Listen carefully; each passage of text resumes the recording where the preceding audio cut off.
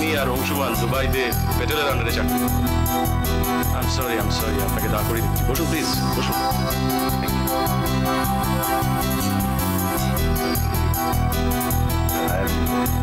Sorry এত রাত্রে আপনাকে ডিস্টার্ব করলাম। আমার চাকরিটা এমন করে আমাকে তৈরি করে দিয়েছে যে আমি কোনো কিছুতেই ডিস্টার্ব বিরক্ত বিব্রত এসব হই না। জল খাবেন?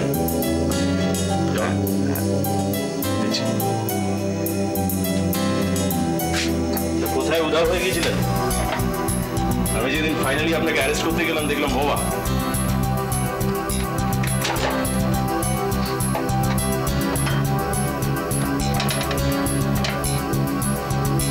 নিন। যা ছিল তাই দিলাম। সব আবার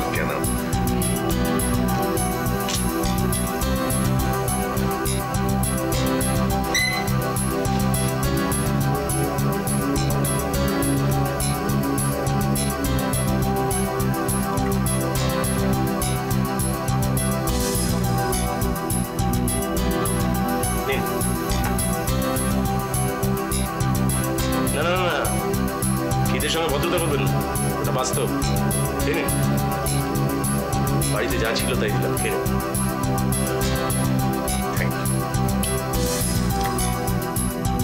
ভেবেছিলাম যে ফোনেই আপনার সঙ্গে কথা বলে নেব। পরের চিন্তা করে দেখলাম সামনাসামনি কথা বলাই ভালো। কোথায় পালিয়েছিলেন? অজ্ঞাতবাসে। ধানবাদ জামশেদপুর গিরিডি ওই ওই এরিয়াটায় ঘুরছিলাম।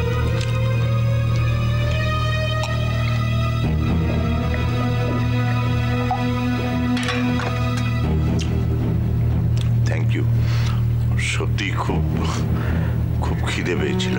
তোর কাজের কথাটা বলে দিলেন হ্যাঁ। আপনি ফাইলটা পেয়েছিলেন তো? কোন ফাইল?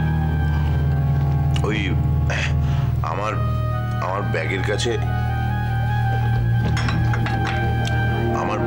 কাছে যেটা রেখে গেছিলাম। ওটা হ্যাঁ সীমার নজরে যাতে পড়ে তার জন্য ওই ব্যবস্থা। আমি জানতাম যে ফাইলটা আপনার কাছে পৌঁছবে। পেয়েছি আসলে আমি তো চুনোপুটি। প্যাটেলের সামনে আমার কতটাই বা ক্ষমতা বলুন তো এখন কি বলতে এসছেন সেটা বলে দিলেন আবার সীমার উপরে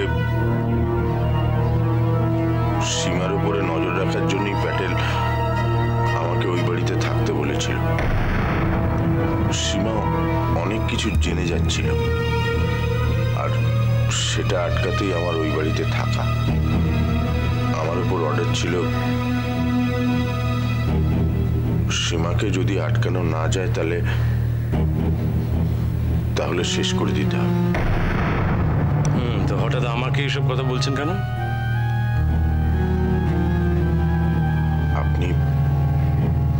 আপনি সীমার বন্ধু। আমি জানি প্যাটেলকে ধরতে আপনি সীমাকে সব রকম সাহায্য করবেন। সীমার সীমার জীবনটা এখন প্যাটেলের বন্ধুকে ডগায়। একবার একবার ট্রিগারটা টিপলেই সব সব শেষ হয়ে যাবে কিংশুকবাবু সব শেষ হয়ে যাবে। আপনি তো পেটেলের লোক ছিলেন।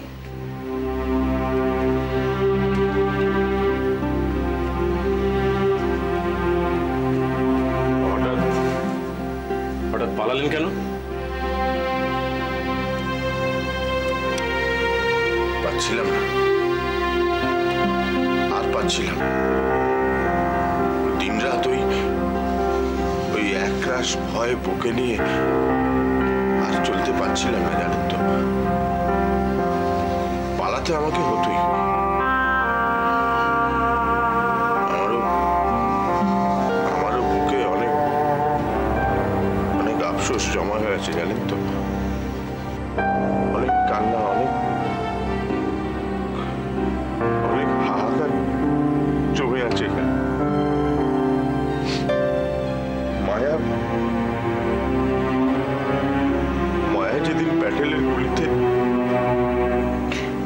আমি আমি সারা রাত চোখের পাতা এক করতে পারিনি কেন?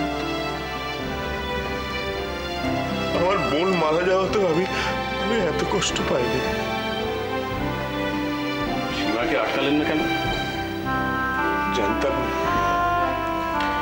যখন জেনেছি তখন তখন আর সময় ছিল না। প্যাডেলের বন্দুকটা তো মায়ের দিকে তাক করা ছিল না না? আমি আমি পারলাম না। মায়ের জন্য আমি কিচ্ছু করতে পারলাম না। কিচ্ছু না কিচ্ছু না, কিচ্ছু শান্ত যা হওয়ার সে তো হয়েই গেছে। এই আফসোস, এই দুঃখ তো সারা জীবনই থাকবে, তাই না?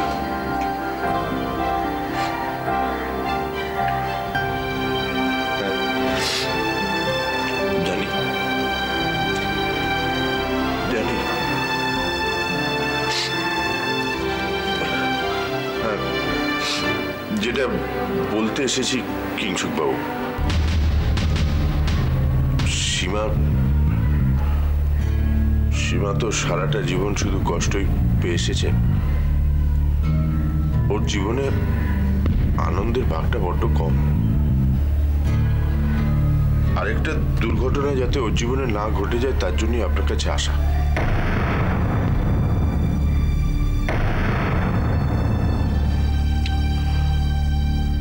সীমার জীবনে যাতে আর কোনো দুর্ঘটনা না ঘটে সীমাকে যাতে আত্মহত্যা করতে না হয় তার জন্য আপনার কাছে আসা কিংসুক বাবু আত্মহত্যা? সীমাকে তো সীমাকে তো আপনি ভালোবাসেন।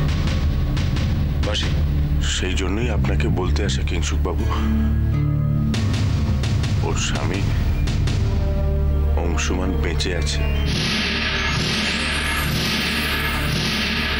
আরে নাদিয়া, দেখ না। ওলি ঘ্যাং ঘ্যাং করে মাথা খারাপ করে দিচ্ছে, জানিস তো? আঙ্কেলের জন্য মন খারাপ লাগছে, তার মধ্যে কিরির তাল জুড়েছে। আঙ্কেলকে ফোন করো। আমি কি করে রোহিত রেখে ফোন করি বল? উনি অত ব্যস্ত মানুষ, উনি যখন প্রয়োজন মনে করবেন তখন ফোন করবেন। আমি আগ বাড়িয়ে দুম করে ওনাকে ফোন করলে একটু ধর তো দেখি কে এলো।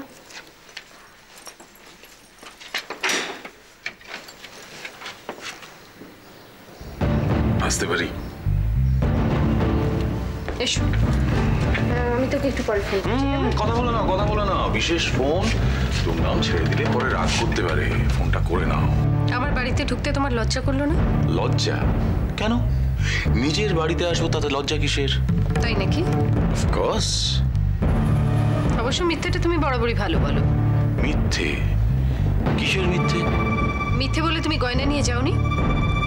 রাখিকে নাকি তুমি সহ্য করতে পারো না ও নাকি টাকা চায়। ঠিক ঠিক তাই। তাই বুঝি ওকে গাইনি চেম্বারে নিয়ে গিয়েছিলে? চেক আপ করাতে। ও এটা নিশ্চয়ই তোমার সেই বন্ধু কি যেন নাম ওই নাদিয়া আসে তোমায় বলেছে না? হাউ ডিসকাস্টিং সেই বুক মেয়েটা প্রেগনেন্ট সেটা নিশ্চয়ই তোমার দায়িত্ব। রাখিকে ডাক্তার দেখাও যত্ন নাও। আমাকে মিথ্যে কথা বলেছিলে শুধু গয়নার জন্য তাই তো? মালা। আবার আমার মন নিয়ে ছিনেমিনি খেলছো? আমি জানতাম। আমি জানতাম তোমার বন্ধু তোমাকে উল্টো বোঝাবে আর তুমি সেটা উল্টো বুঝবে। নাদিয়া কোনো কিছু উল্টো বোঝায়নি। প্লিজ আমি রাখির সঙ্গে ডাক্তারখানায় গেছি মানে এটা প্রমাণ হয় না যে আমি ওর সঙ্গে থাকতে চাই। আর কত মিথ্যে বলবে অরিন্দম? দেখে কখনোই মনে হয়নি যে তোমরা আলাদা থাকবে। নাদিয়াকে দেখে উল্টো ব্যবহার করলে আমি তো জানি নাদিয়া ঠিক দেখেছে। আমার গয়নাগুলো ফেরত দাও। গয়না? যে বাক্সটা আমি তোমার হাতে তুলে দিয়েছিলাম সেই বাক্সটা আমাকে ফেরত দেবে গয়না সমেত? হ্যাঁ। তুমি বোধহয় ভুলে যাচ্ছ মালা। যে এই গয়নাগুলো আমার মা তোমাকে দিয়েছিলেন এ বাড়ির বউ হিসেবে। আজ যখন তুমি এ বাড়ির বউ থাকতে রাজি নও তখন এই গয়নাগুলো আমার। নিচ। কিসের নিজ এই বাড়িটা যেমন তোমার বাবার তেমনি ওই গয়নাগুলো আমার মায়ের। এই বাড়িটা তোমার গয়নাগুলো আমার। সোজা হিসেব। মিথ্যে কথা বলি গয়না চুরি করেছ! গয়না চুরি করেছি। হ্যাঁ তুমি মিথ্যে কথা বলে ওগুলো নিয়ে গেছো। বেশ করেছি বেশ করেছি। আমার গয়না আমি নিয়েছি বেশ করেছি। ছোট লোক। এই এই আমি তো হ্যাঁ তুমি আর নিজে কি নিজে কি? মা মেয়ে দুজনে একটা বড় লোকের পিছনে ছুটছো আর আমি তো না? অরিন্দম। শরীরের দিকে কোনোদিন তাকিয়ে দেখেছ?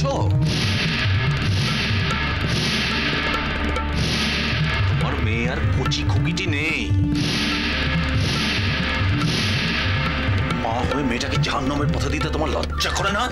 নিজে জাহান্নামে যাচ্ছ চাও মেয়েটাকে কেন? এরপর ওদের যদি কিছু হয়, তার জন্য কিন্তু রেসপন্সিবল তুমি। তুমি থাকবে, তুমি! তুমি! তুমি! আমি তো না? আমি তোর। নিজে কি? তোর।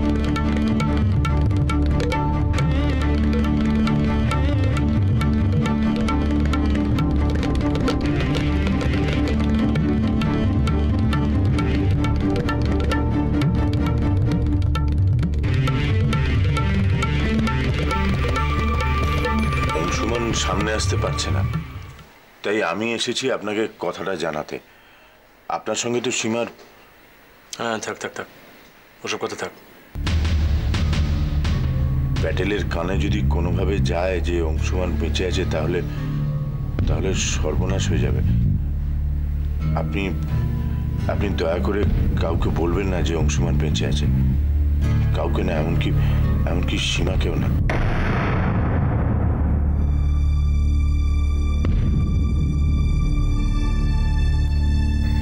বেশ সবাই জানে অংশুমান মারা গেছে। প্যাটেল ওকে সরানোর দায়িত্বটা দিয়েছিল আমার। কেন? অংশুমান মানে প্যাটেলের অনেক গোপন খবর জেনে যাচ্ছিল। আর ও বাধ্য হচ্ছিল প্যাটেলের অনেক কাজ করতে যেগুলো সোজা পথের কাজ নয়। কেন করতে চাইছিল না কেন? জেনে শুনেই কাজটা নিয়েছিল। আসলে আমরা দুজনেই কাজটা নিয়েছিলাম প্যাটেলের কনস্ট্রাকশন কোম্পানিতে সাইট সুপারভাইজার হিসেবে। তাতে কোনো কারচুপি ছিল না। কিন্তু আস্তে আস্তে মানে বহু বাজে বিদেশে ছবি চালান তারপরে ড্রাগ মেয়ে আর্মস এরকম সমস্ত বাজে ব্যবসার সঙ্গে জড়িয়ে ছিল প্যাটেল। আস্তে আস্তে আমাদেরও জড়িয়ে নিল। আমাদের আমাদের পাসপোর্ট টাকা সব জমা ছিল এই শয়তানটার কাছে। আমরা বাধ্য হলাম ওর কথায় নাচতে। কিন্তু অংশুমানটা চিরকালই একটু গোয়ার আর নীতিবাগিস ও বেঁকে বসল। ও কিছুতেই এই কালো কাজ করতে রাজি হলো না। তারপর? অর্ডার হলো অংশুমানকে সরিয়ে দিতে হবে। দায়িত্বটা পড়ল আমার উপর। তাহলে পরিকল্পনা মাফিক আমি আমি হানাও দিয়েছিলাম ওই অংশুমানের দুবাইয়ের ঘাঁটিতে।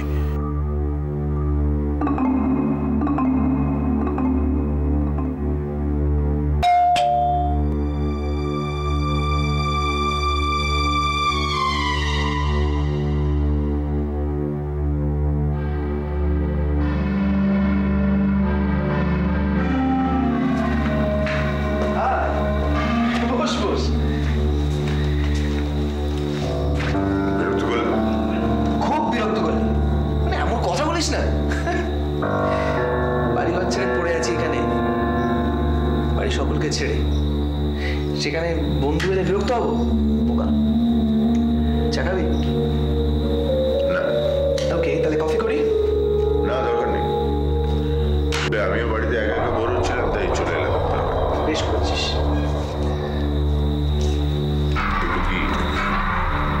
বাড়ির সকলের ছবি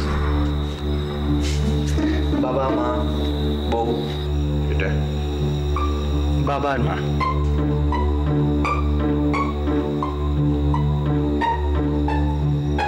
এটা হচ্ছে মার সঙ্গে আমার বউ, সীমা।